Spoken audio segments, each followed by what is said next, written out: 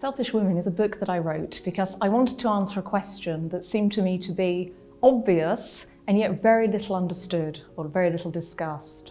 And that question is why are women so encouraged throughout all times of history, all places, to prioritise others rather than ourselves? It struck me that for all women, in all places and all times, being selves was a problem. And those women who have throughout history spoken about the importance of self-interest, self-regard, are women of whom we're often suspicious.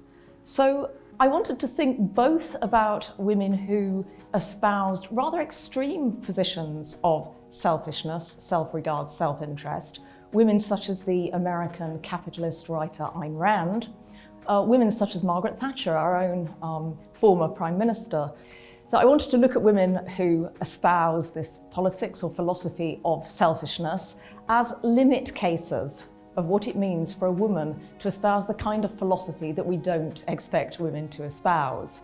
But then I also wanted to see how this problem, this problem of woman and self occupying the same category, obtained for all women, ordinary women in the world, in all times and places.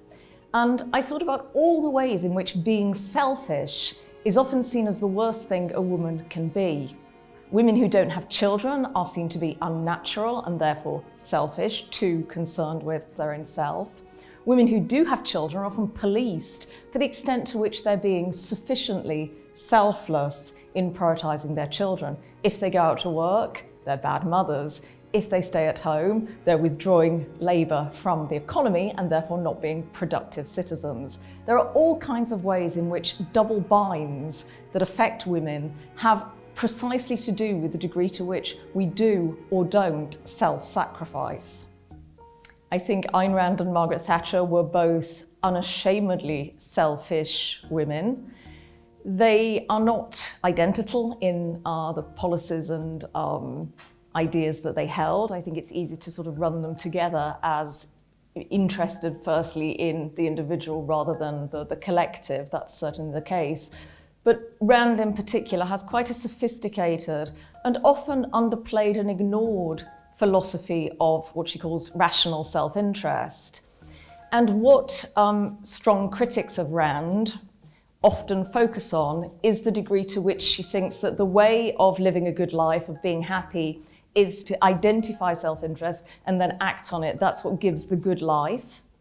And many people criticize that because they assume that has to be at the to the detriment of others, that that has to be something that means that you don't care about anyone else. But she's very clear that she's not saying quite that. She's saying that if you have yourself and your own happiness and your own life project as the highest value, your freedom issues from that, but other people will similarly be living their best life, their self projects, and your freedom ends where theirs begins. So it's quite a, a, classic liberal position in many ways. But the degree to which Ayn Rand wants us all to be able to um, live our self interested, self-full, which is a term I've created, lives, um, is, is very often ignored in, in the very forceful critiques of Rand.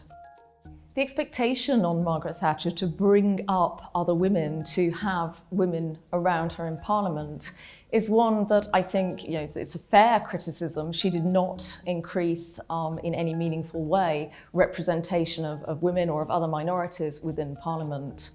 But I think there's a real problem in that what we expect of female leaders is that they will only represent others who are of their group.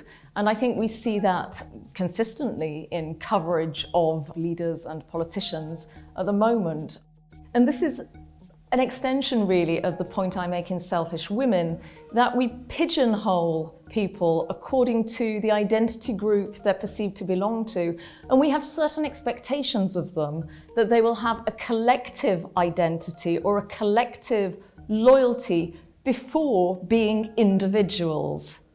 So it seems like an extra burden is being placed upon those who are not rich white men to be every woman.